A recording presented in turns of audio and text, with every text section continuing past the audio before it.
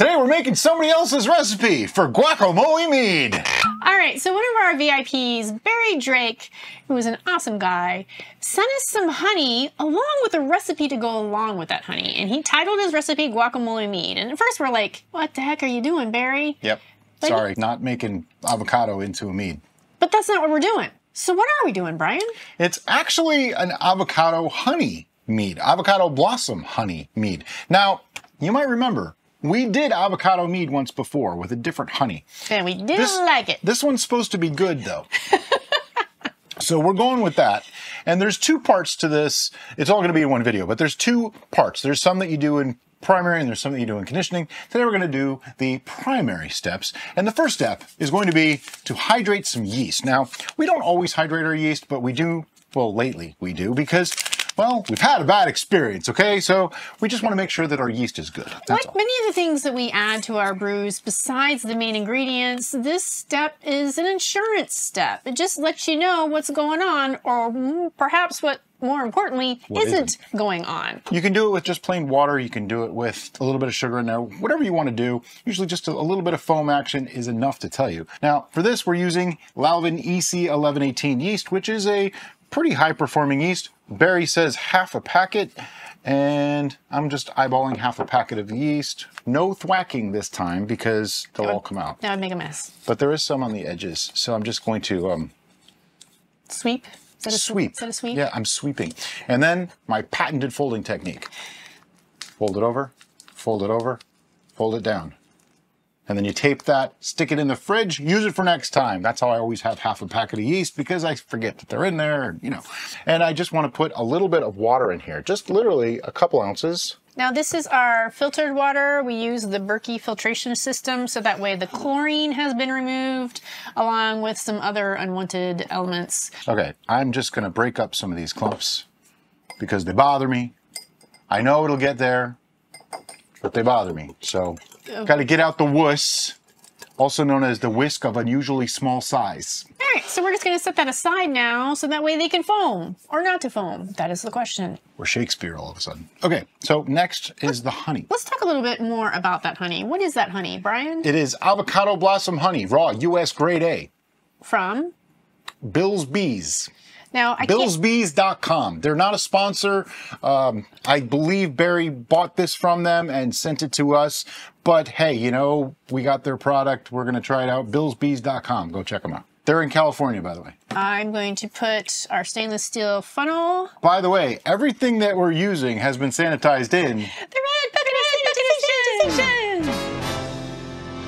which is basically a big red bucket filled with Star San and water, mixed according to the manufacturer's directions. Okay, so honey. We're putting two and a half pounds of this honey. We happen to have 80 ounces, which is uh, more than two and a half We're pounds. on the grams mode. You want it changed to pounds? I want to change to pounds. It is sealed for your protection. This is dark stuff. Yeah, the other avocado was dark too. I think it's just the nature of the beast The beast. nature of the beast. Yep.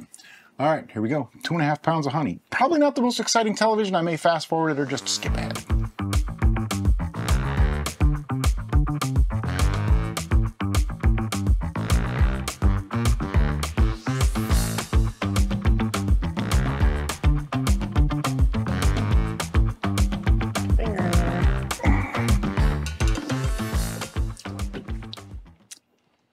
It's a, a little earthy, kind of. It's not um, not overly sweet, but it's got a. If I recall, we liked the avocado honey last time too, but I trust Barry a lot. He's a been a long time VIP member, and if he likes this, it's probably good. Well, I think his choice of additions and conditioning are really going to push this in a direction that might be more pleasing. Right. But for now, I have to go wash my finger, which means my whole hands, because I licked it. Honey is in there, which means we do not need the scale anymore, but it's in the funnel. It's still coming out. Our yeast is showing a little bit of foam. Let me show you what that looks like. So as you can see, the yeast is in there. There's just a little bit of foam forming on the top, and that's pretty much what you're looking for. A lot of people have asked recently, what, what are we looking for? What do we need it to do? Well, pretty much this, though I'd like to see a little bit more activity than that. That's the gist of what the yeast should look like. I mean, it's not that big of a deal. If you see some bubbles, it's probably gonna be fine. If you see nothing, one thing to do is add a little bit of sugar or honey in there, mix that around, just like a half a teaspoon or so for this amount. Mix it around, give it another 10 or 15 minutes. If you still don't see anything, use a different yeast. But this becomes yeast nutrient. And adjacent to that, or in addition to that, you want to make sure you don't add too much of a fermentable sugar in there because you can actually rupture the cells. They Yeah. oh, it's too much. Osmotic pressure is a thing. it is. The funnel looks mostly clear. So unfortunately, our water is not warm because we did use our filtered water and not tap water. and we didn't heat it. So Right. I'm just gonna have to pour and hope that I can rinse off most of the funnel. Or at least some of it. A little of it? Any of it? Anything? Giller? There's, yeah, there's not much in here really. It's okay. One thing I do want to do is mix this up. That's why I only fill it about halfway. For that, I need the thumb saver bung. What is the thumb saver bung, you might ask? Well, it's just a solid stopper. That's really all it is. If you have the cap to your jug, you can just use that. As long as you've tested it first Yeah, to make sometimes sure they it leak. doesn't leak. I like to use this because that way I can just push my thumb on it. The reason why I call it the thumb saver, is normally there's a hole, and if you push hard enough and long enough, or have to mix five or six of these in a day, it does start to actually hurt your thumb. So, you know, I just call it the thumb saver bar. It's just a joke. Don't read too much into it. But now I need to shake the bejesus out of this right after I get the liquid off my hand because it would have slipped out. Okay, and I just shake it until all the bejesus is gone, or all the honey's mixed up. This does two things though. Derica, what does it do? Well, the first thing is it's going to create a homogeneous solution so that way when you take your gravity reading, you're going to get a correct reading and not a false reading. The second thing it does is it oxygenates your brew. As you can see by Brian's demonstration, it is changing colors. That is because oxygen is now infused into that must. Also, general rule of thumb for mixing. If you think you've mixed enough, mix for two more minutes and release the pressure once in a while because it spits at you. If you don't mix it thoroughly, here's the worst thing that'll happen.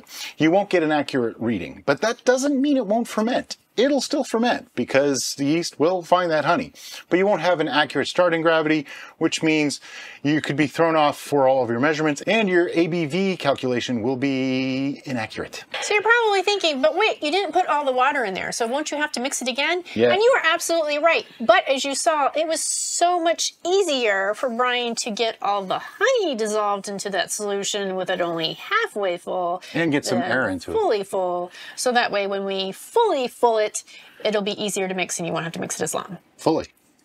Gotta go wash my hands again. At this stage, we're gonna go off the path. Yeah, we're gonna go a little bit off of his recipe.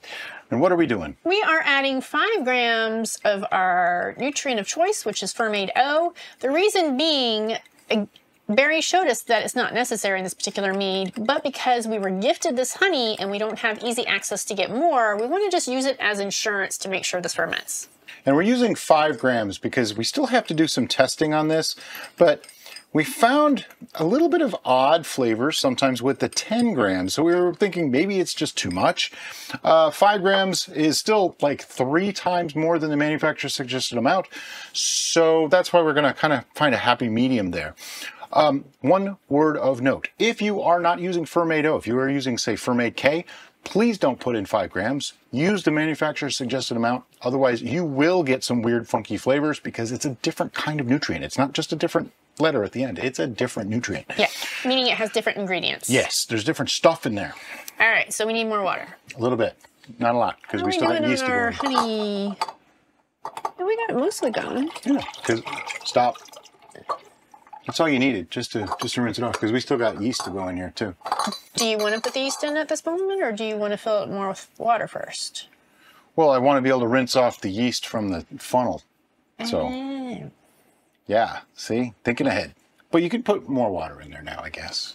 If it's too concentrated, the yeast won't like it and they could have problems. Even though it's only going to be a minute or two, I still don't like taking chances like that. So we're just going to leave enough to be able to rinse. There. Okay, so just give this a, one last swirl around and pour it right in. Do you want more water in there to get more? Yeah, put a little bit in here. Get as much of that colony going as we can. Give that a little bit of a swirl and okay. Now, Where do we want to go? Like Just under the letters, I think, is where we decided. Barry said water to a gallon.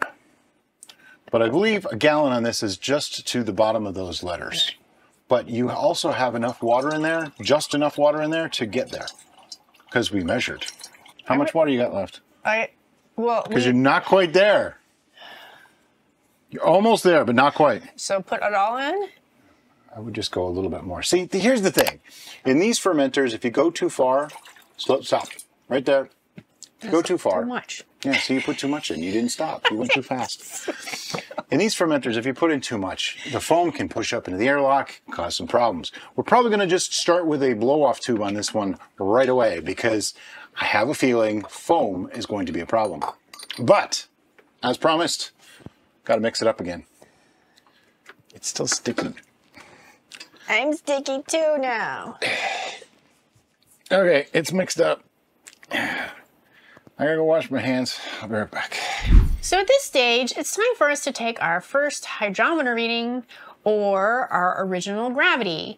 And for that, we are going to be using our highlighted product of the day. What's our highlighted product of the day?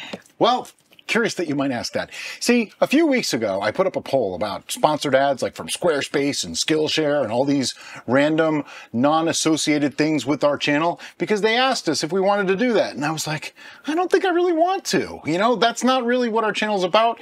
And we'd rather find items that are workable for you if we need to support the channel. So yes, we're going to start doing this. We're going to choose an item that we're using in that video, whether it's a product or a piece of kit or gear or something that we just got or whatever, and call it the highlighted product of the day. Today it's the uh, Brewers Elite hydrometer and Kits. glass. So the full kit cylinder. comes with the hydrometer, comes with the glass cylinder, comes with a hard case to store your hydrometer so you don't accidentally break it, comes with a cleansing cloth.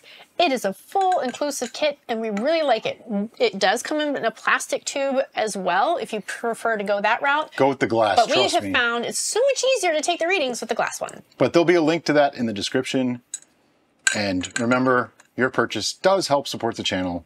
So it doesn't you. cost you any extra. It's a win-win for everybody. Now, wasn't that better than watching like a Raid Shadow Legends ad or something? it's like 1.073. It's right in the middle. Now, what that means, that OG, let me just go over this really quick.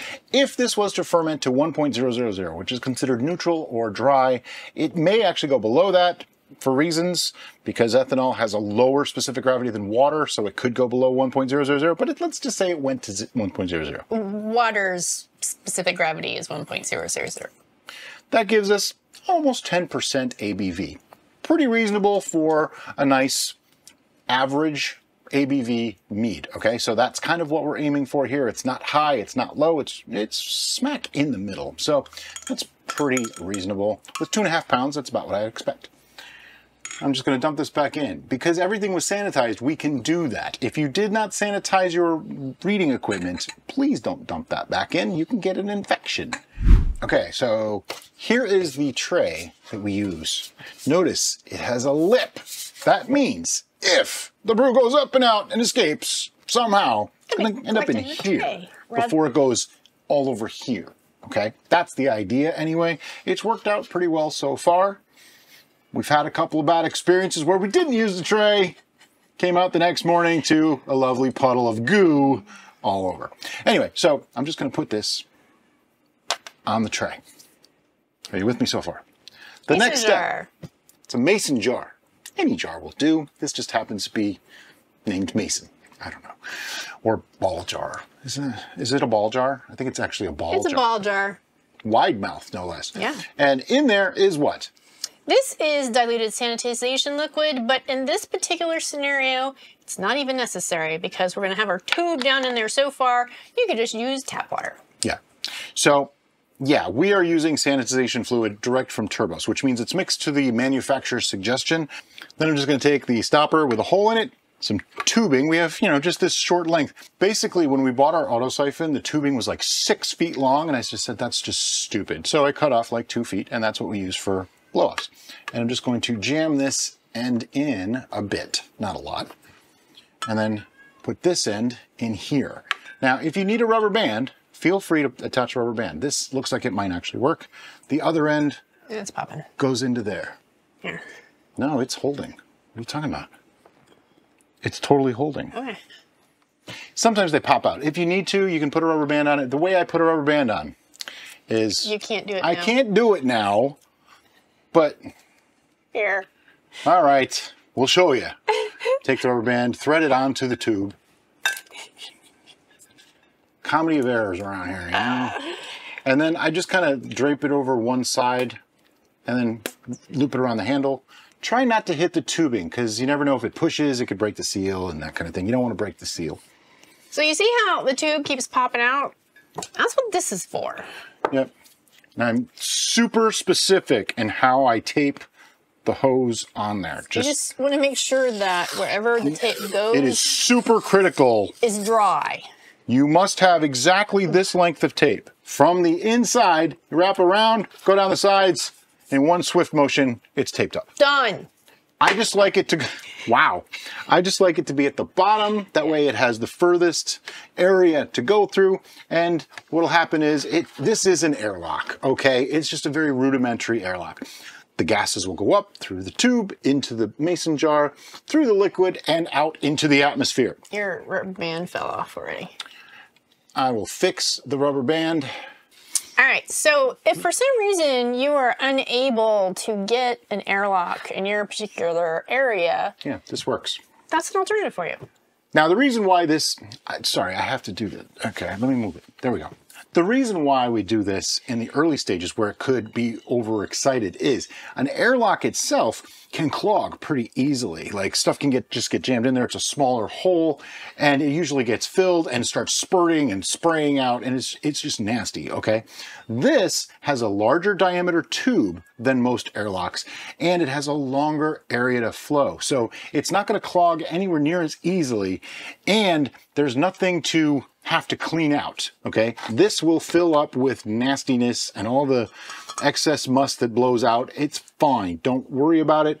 After a couple of days, we'll just dump this out, take this off, replace it with an airlock, and that's what you'll see in two seconds. Also, the bottle brushes, and I'm going to link in the description below, have the really long uh, handle part, Mm-hmm. I guess, so you can clean out your whole tube, no need to worry about it. So what are we gonna do with this now? We're gonna let it sit. And it's going to take a week, two, maybe three weeks before it ferments out fully. When we see airlock activity pretty much down to nothing, no more bubbles coming up, no more anything happening, we'll be back to show you what it does then. We're also going to switch this out to a normal airlock once it settles down too. I said that. Oh, good. Yay. Okay, so it's been four weeks. Was this done a little bit before then? Probably. Was it ready for a reading? Probably. Probably. But we just didn't do it. You know why? Because it just doesn't matter. So, also holidays and life and stuff. All right, so there is a bit of a film at the top, but I have noticed this before in some typical uh, varietal honeys that sometimes they create a film. It's just Yeah. something to do. It's nothing to worry about. It doesn't have eyes or hair or Nope. ears or teeth, so it's all good. Looks to be reading 1.000. Let me find my pen with a flag. All right, because we sanitized our equipment, we can put our sample back into our fermenter. And because we're not racking. Carefully. That is carefully. This is very gassy, so I'm going to uh, give this a bit of a Do you want to do swirl, a? It's Yeah, we're going to do an open because it's super gassy. Now, a lot of people ask about this. Isn't this oxygenating? No, the, the gas is coming out. CO2 is is definitely heavier than oxygen. It's pushing out anything that's in there, and I'm being kind of careful here. Pretend like you're at a concert and concert just got let out and everybody's leaving and you're trying to get in that building. Are you having any luck getting in that building? No. That's kind of what's going on here with all those gases coming out. That's actually a really good analogy. Can't get back in. See, that airlock is going to town. Okay, So we're ready now. We're gonna let it sit. This has been sitting for longer than it probably should have or could have. Today is the 30th, and it's been sitting since the 3rd, so that's 27 days. so it's been sitting for like four weeks. But you know what? It just doesn't matter. Because you know all that happens? It flocculates more. More stuff falls out of suspension. It's not a big deal. But today we're gonna take our second reading, and you already see I have other stuff ready. We're gonna do more stuff to this. So let's just take our hydrometer reading here.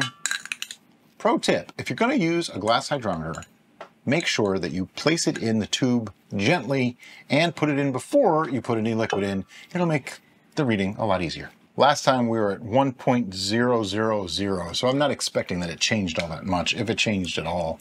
1.000. Bellissimo. So that means it is time for us to do its first racking, which is what we are prepared for, as you can see by the vessel here. So we are We're also doing something a little unique this time. We are racking to a larger vessel. for reasons. There's a reason. We're going to be adding more liquid to this. So first, our sample goes in gently because this was sanitized. And if you notice, I tilted the vessel for Brian to put that in there because it, it would allow the liquid to hit a surface and then drain down, Right. limiting the oxygenation of the brew, which is what we're trying to do with all of the things that we're oh, doing Oh, before here. we do that, we got other stuff to do. oh, we're gonna put She thought we were going to rack. Yep. Well, see, there's a reason. These are finite amounts. This is not. Okay, I understand that. Okay, so Barry Drake, one of our VIPs, made up this recipe, and it's a little unusual. I will I will have to admit this, but what we did is we took some cilantro and we made a tea from it. It's got a very slight green color, as you can probably see, and there's two cups. Almost two cups. I, I'm a little bit short on that. So 16 ounces of cilantro tea going in. And you can't have guacamole without lime juice, so we have fresh from our limes in our backyard, four ounces of lime juice, according to Barry's recipe. This is where we went a little bit different than what he said. We didn't use limes, limes, we used Rangpur limes, which is limey like. Lime adjacent. Yeah. All right, before we get too carried away with our racking, can we please put that on our notes? Oh, there's four ounces of lime juice and 16 ounces of lunch tea. Look at that! He already did. She doubted me. Whoa.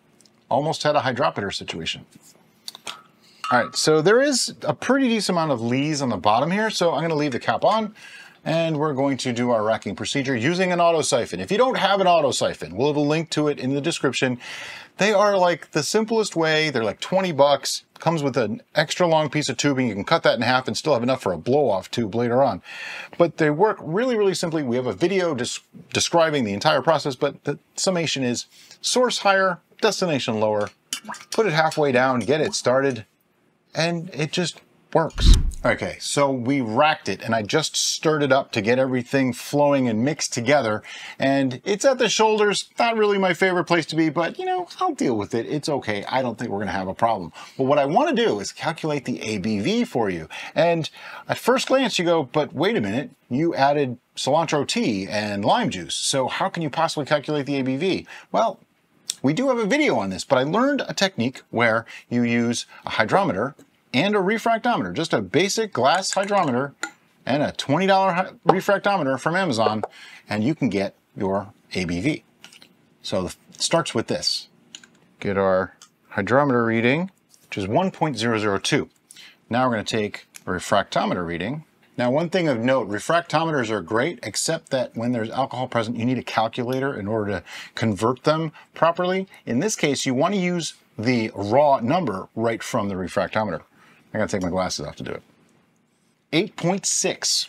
Now, the third element that you need is the temperature. So I'm going to go grab our our probe, Probe. thermometers so that way we can figure out exactly what our temperature is. Okay, I'm going to use an app called FermCalc. And with this app, you can actually put in all these numbers and you take the temperature of your brew. We just sanitized the tip of the thermometer so we can be the most accurate that we can be.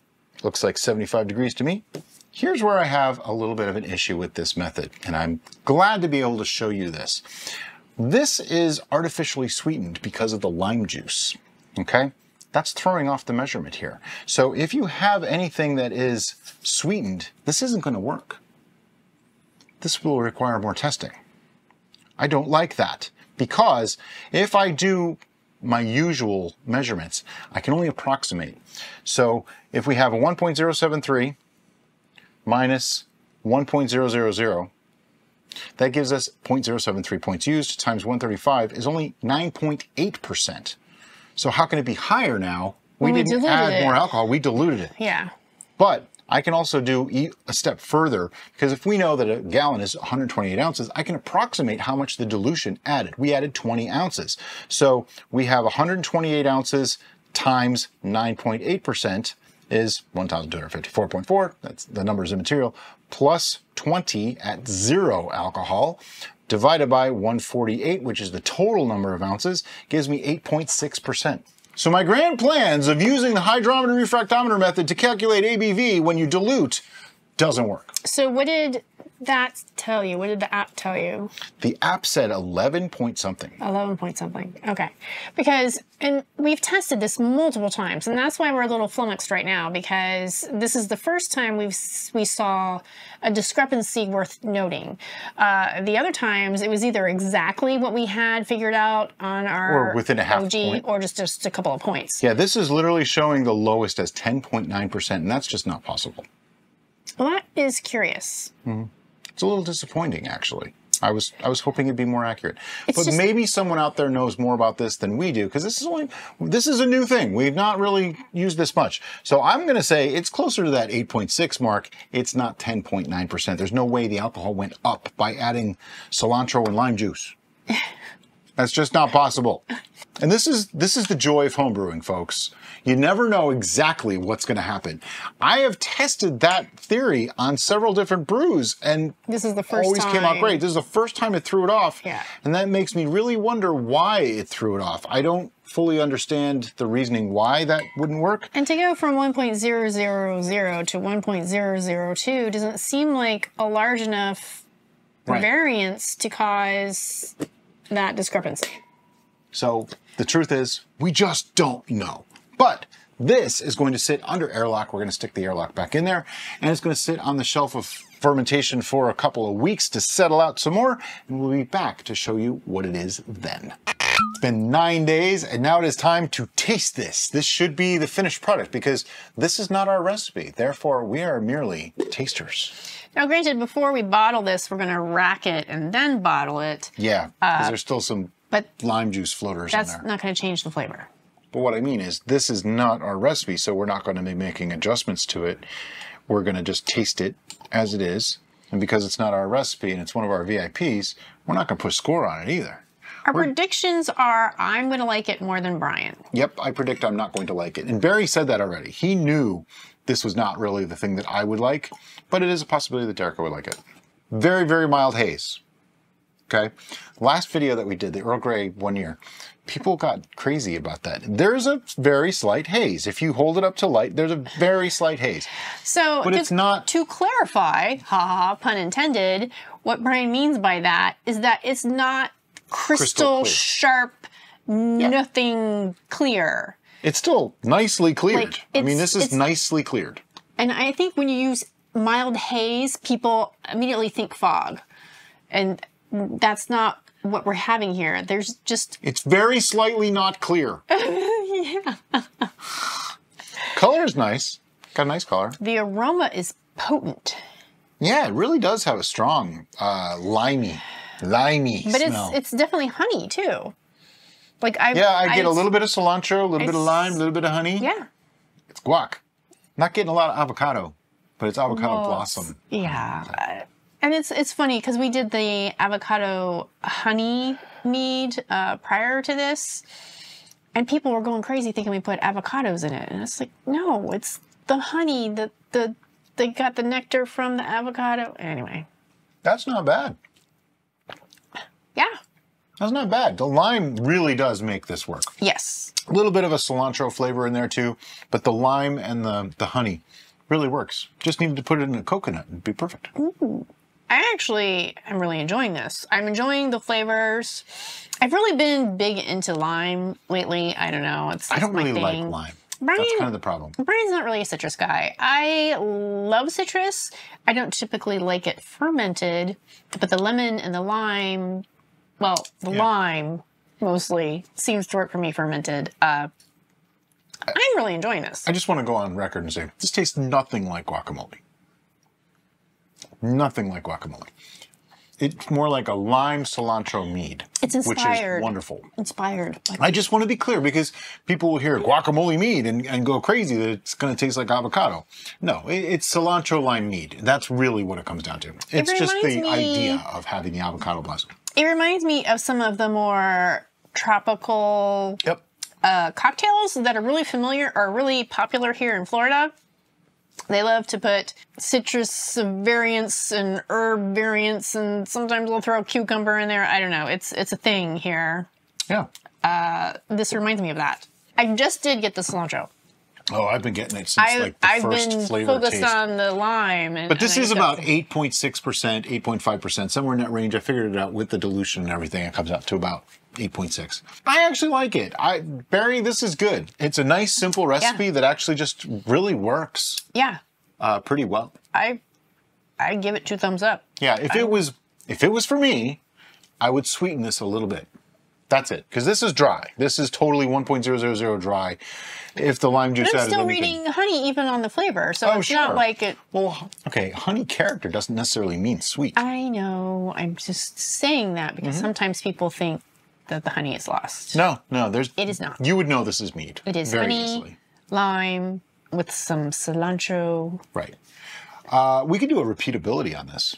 Repeatability on this, I think, is like a nine. Yeah. It was pretty straightforward. It was pretty, simple. straightforward. The only thing that was kind of weird was the cilantro tea, but That much tea. basically It just. made me question it. I will be honest. Yeah. 16 ounces of cilantro tea really. just so I don't have any problems. Um, but honestly, once it's all said and done, it came out lovely. It's Yeah. a nice, easy drinker. Put put that over ice in the Oh, summertime or something. That'd be great. Yeah. I, I don't see any issues with that. It's not really something I would necessarily reach for, but if handed it, I would drink it. I will drink it all. Yes. Thank you very much. She totally will. and be happy about it. So, Barry, thank you so much for submitting the recipe and for giving us the honey to make it. And as always, guys, thank you so much for watching and have a great day. Bye bye.